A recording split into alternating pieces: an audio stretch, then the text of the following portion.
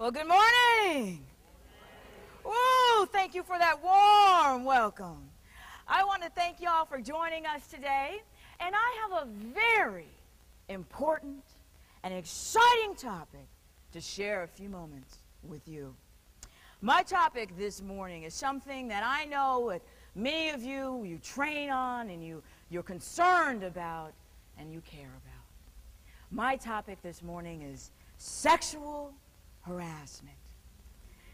And I know that most of you are like I am. There are things that you're interested in that your organization needs. You need to talk about change. You need to talk about leadership. But I know the one thing that gets your team members and you yourself excited is when you find out that the mandatory sexual harassment training has been scheduled and is coming up. Yes. I know, I know. One of the things that I do, that I'm fortunate enough to do, is I travel all over the country. Now, I'm very happy when I get to work in Texas because I live in Austin, Texas, but I'm all over the country. This week alone, I've worked in Washington, D.C., I worked in Chicago yesterday, and then I'm here with you today. And sexual harassment is one of my most favorite topics to deal with. One of the reasons I love sexual harassment is the enthusiastic response that most of your team members and they meet me with in the morning when I start off our mandatory training sessions. In fact, most of the time when I do sexual harassment, team members will walk into the training room and they'll walk in and they'll sit all the way at the back of the room and they'll look at me like this. Sexual harassment training. Is this going to be hands on? I either see a whole bunch of unhappy faces coming to my mandatory training sessions, or I get a lot of people that think that our topic of sexual harassment training, they think it's a big joke. Part of me is thrilled at that response. Because, see, currently, what I do is I go out and I train with your organization. I help you learn what sexual harassment really is. I help you answer some of the myths of sexual harassment. For instance, I commonly hear in the training classes, someone will say, sexual harassment laws. This is the government telling us we can't make jokes at work. This is the government saying you can't look at somebody. This is the government trying to stop love with love. That's what people tell me. The myths are out there. And I go out and I train and I work with your organizations to answer those questions and to teach people that sexual harassment is a real important topic that can be prevented.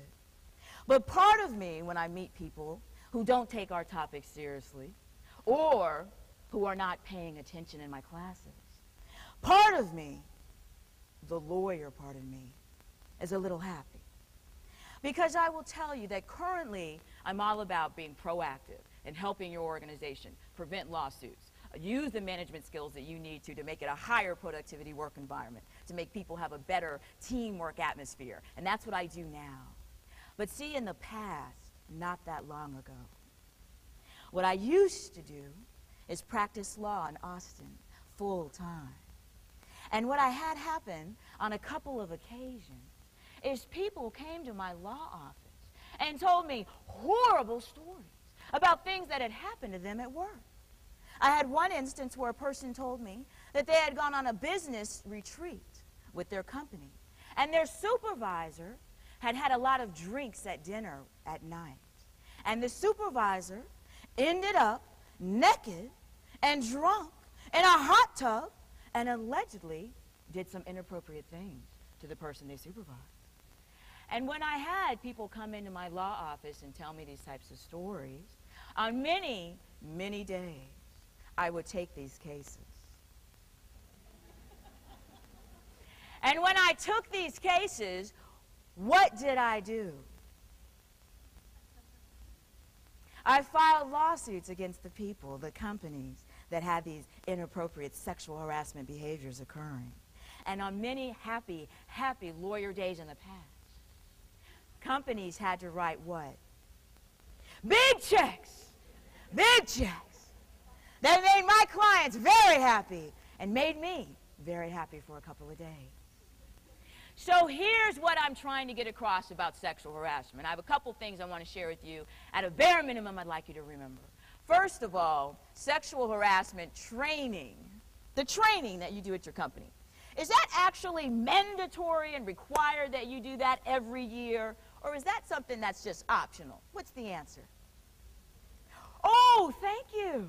The answer is that the sexual harassment training is actually mandatory. In fact, the federal government has made a little rule that I'll just remind you about.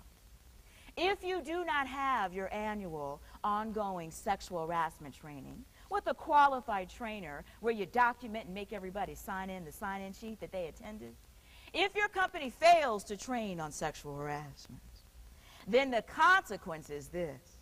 When your company does get sued, then what your company's punishment will be for not doing the training, it's something that lawyers in the legal system call punitive damages.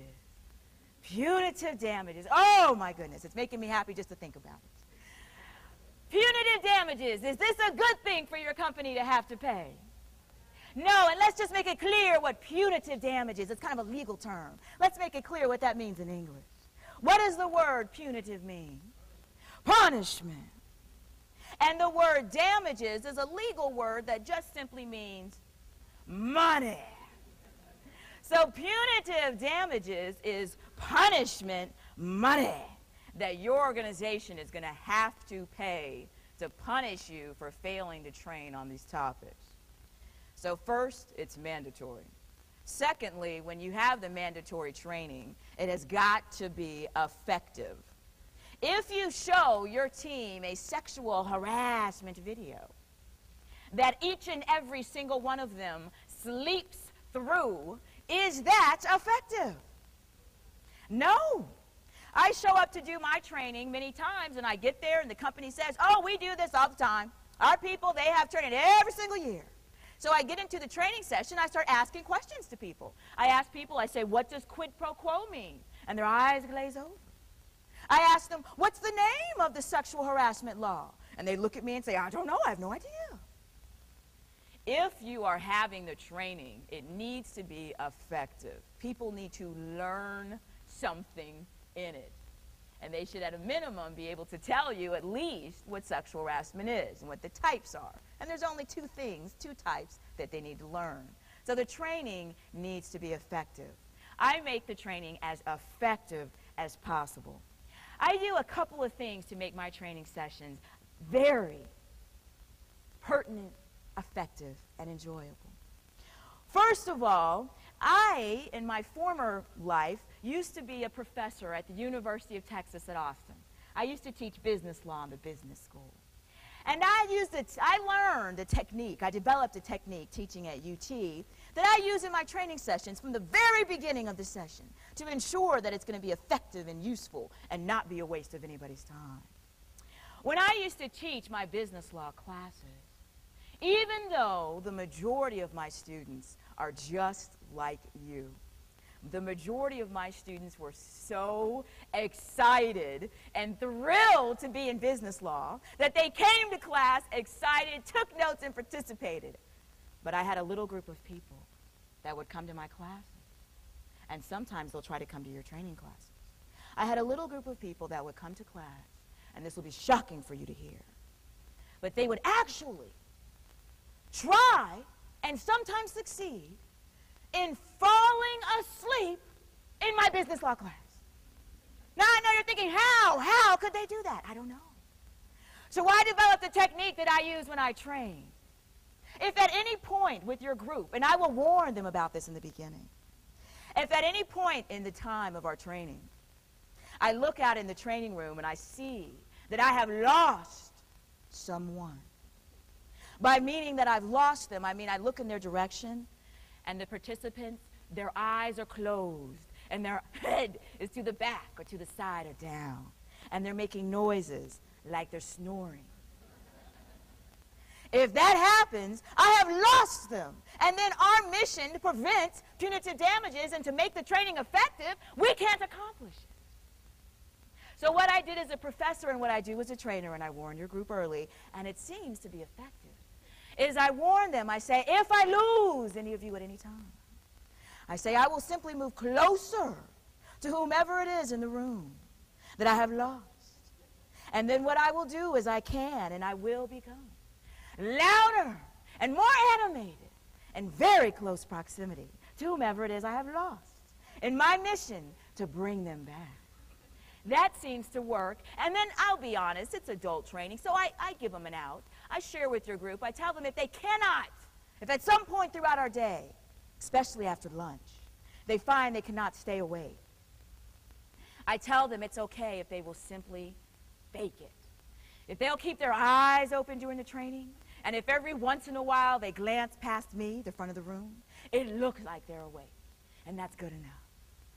The training has to be effective. People have got to wake up and stay awake, and you have got to relate sexual harassment to their jobs. You have got to relate sexual harassment to their paycheck, to their behavior.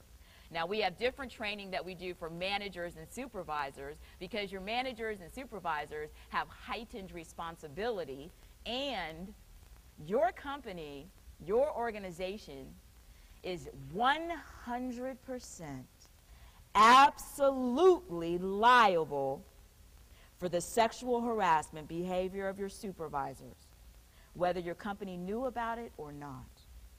So your managers are going to have a little bit specialized training. We're going to talk to them. I have some issues with managers. Most recently in sexual harassment training, it seems to be a challenge. So I've had to go and do some re-emphasis.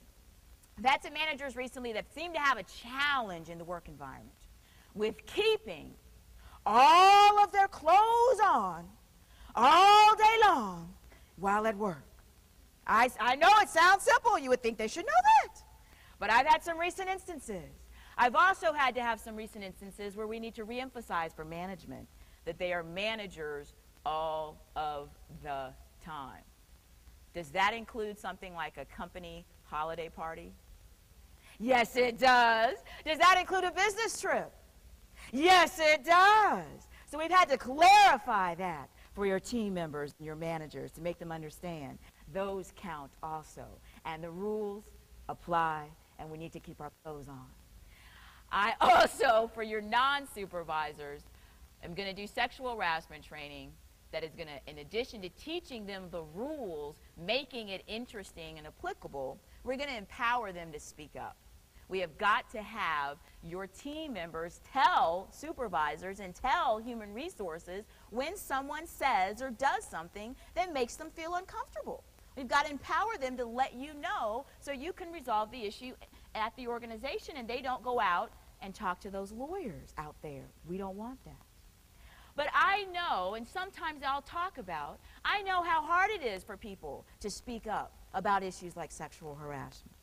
In my own personal experience, I've had lots of jobs while I was going through school. And I had a job one time here in the state of Texas where I worked for our state comptroller. That's a state agency, our state comptroller. And I had a job where I was an administrative technician. I was an admin tech, sort of a receptionist clerical position. And I got this job. I was very young. I was in my early, early 20s, and I was so excited when I got my job as an admin technician at this place because it was a wonderful opportunity for me.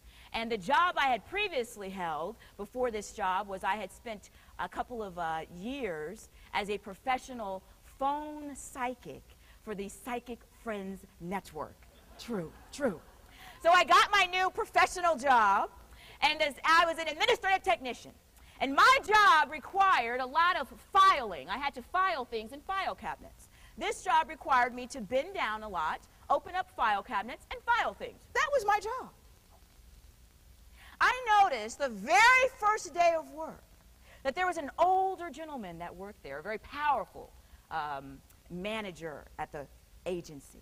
And I noticed that every time that I would bend down to file something in the file cabinet, that this gentleman would sort of come from out of nowhere and kind of run and stand behind me very closely. And he would say things like, You look very nice today, and sort of rub my back. You look very nice today.